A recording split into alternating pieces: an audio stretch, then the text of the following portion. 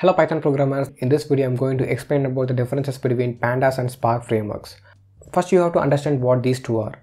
Well, Pandas and Spark are two different data processing or manipulation frameworks.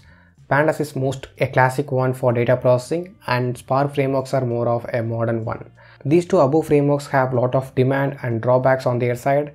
Let's discuss about the pros and cons of each side and you will get to know about what you need for your data processing tasks. So let me start with pandas because it is more popular among the data science beginners. Pandas is open source Python library and it is one of the popular library for data processing and analytics.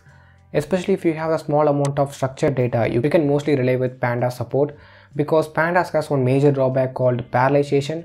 Parallelization is something that gives you the power of performing the distributed data processing task easily among the huge data volume but in pandas it is not achievable. Since it has a single node support that's why the pandas is not good for handling the huge data volumes. Other than that if you are doing your work in pandas you can get you can get more support of different algorithmic implementation libraries. By using those libraries you can easily implement the machine learning algorithms on pandas data frame without doing any complex code operations. Suppose if you want to perform the large data task on pandas it could be possible in pandas but it requires a lot of resources to execute the operations and another factor in pandas is eager execution. It should be you to decide whether you want the eager execution operations or lazy execution operations. Eager execution is somewhat when you initiated a task, it will get executed instantly without checking for the optimizations. So the pandas has the support of eager execution. It will give you memory error if you are not writing optimized queries on your data task. So these are the pros and cons of pandas and let's move to the next one. On other hand, we have the Spark frameworks.